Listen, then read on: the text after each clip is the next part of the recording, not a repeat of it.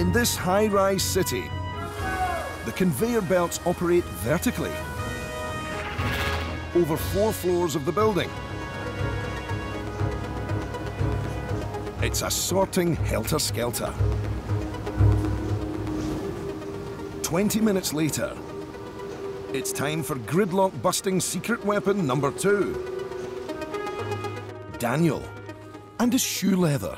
My name is Daniel, and uh, I'm like drivers, we walk because the traffic in New York City is pretty horrendous.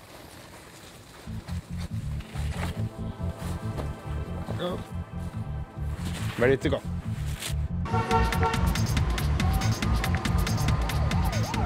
It's all going to plan.